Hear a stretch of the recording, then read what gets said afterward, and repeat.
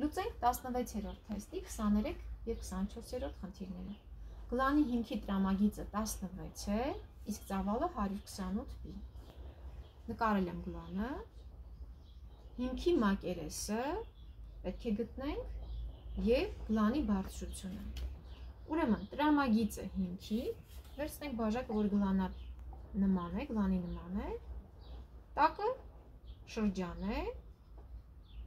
որի տրամագիծը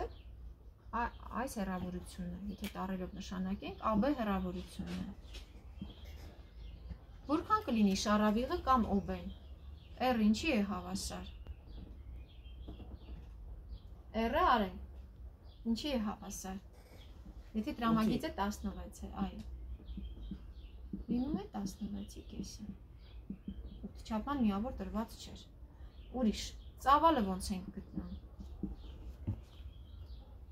է։ Ահա։ Պիեր քառակուսի անգամ հար։ Հիմքի մակերես ճիշտ է իր ասում, անգամ բարձրությունը։ Հիմքի մակերեսը, քանի որ շրջաններ ինչի էր հավասար շրջանի մակերեսը,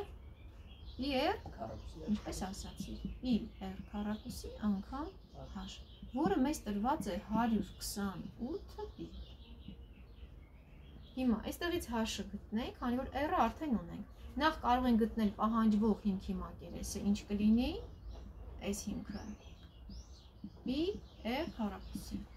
Պի անգամ r-ը 8 է, 8-ի քառակուսի ստացվեց 64 պի, կներկայացնենք 23-ի պատասխանը, 64 պի։ Իսկ ծավալից օգտվելով կգտնենք բարձրությունը h-ը։